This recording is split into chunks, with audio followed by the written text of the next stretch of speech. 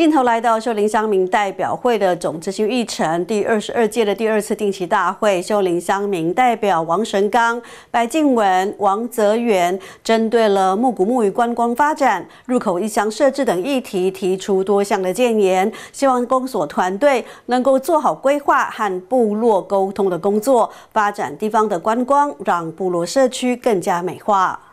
秀林下面代表会第十二届第二次定期大会，秀林下面代表同仁们则是把握自己的时间，针对同门榕树社区花色景观区、社区入口意向以及榕树部落土石流清除一案提出多项建言。是不是可以大家一起来努力，然后站在呃，我可能就站在沟通的角色，然后来去跟呃地主来协调。我记得我们南区那个我们副主席啊，也都有去去努力过。那我觉得发现这里面有几个症结点是在那个我们的。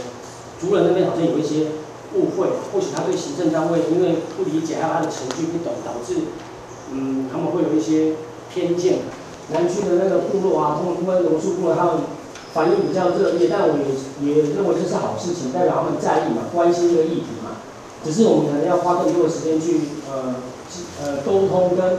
不要让他们就像我刚刚说的，不要让他们有一些一些误解这样子，容易。我认为有时候一种错误的讯息在部落很容易会被带风向，然后越来越好像鸡飞城市，到后面都不知道到底哪些是对的，哪些是错的。然后这条路要到公所的这条路，本席在这里是觉得做的不是没有没有那么的漂亮，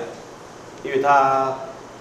那个漆呀，或是一些它那些栏杆哦，其实我本席这里是觉得说有有碍观瞻了，做的不是很好。我想说，关于入口印象的部分的话。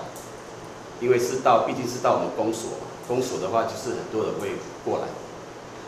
我想说这一块的话是是公所这里可以做做一些那个规划。和平村和中部落那个围墙美化，这是从苏拉台风到现在，我想应该也是十一年。拜托乡长，我再次的拜托，你再帮我到中央要补经费。因为我们的村民哈，我我都跟他们报告，我说乡长他一定会帮忙。为什么？中区、南区、北区都已经那个从水源，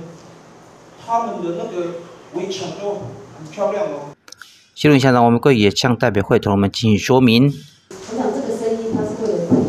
的问题，好，他们希望那个土工所不能搬走，那个不行。我们有问过哈，科长没有跟我报告过，那个上次公共查，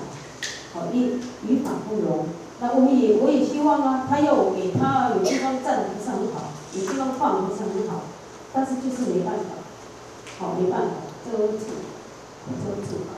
好，所以如果再有其他的声音哦，其实我们代表哦，各位代表就是女士，你可以直接跟我们科长直接可以来接触很多东西哈，县府只要。只要我们的部落会议同意之后，好，县府就会协助我们编列呃画室的呃画社以及委托的整个作业费，一共是一百九十六万，好，那我们也会请专业的单位，好来做来做协助我们这次的画色。